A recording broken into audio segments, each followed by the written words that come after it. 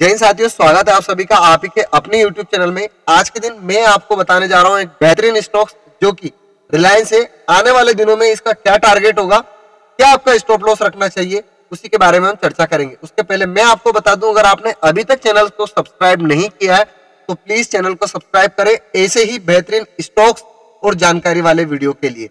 और दूसरी बात मैं आपको बता दूँ I am not a SEBI registered analysis neither advisor जो भी काम करे, अपने फाइनेंशियल एडवाइजर से पूछ के काम करे। तो साथियों, पहले बात करते हैं हम रिलायंस के बारे में।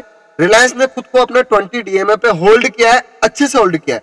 तो आपका स्टॉप लॉस होना चाहिए बाईस के नीचे। जी हाँ दोस्तों, अगर ये इसके नीचे ट्रेड करना चालू कर दे तो आप इसे निकल जाइएगा। आने वाले दिनों में मैं इस स्टॉक्स में लॉन्ग टर्म के लिए 3000 से ऊपर का टारगेट रखता हूँ।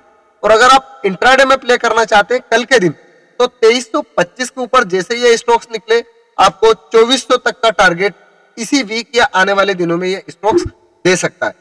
Thank you so much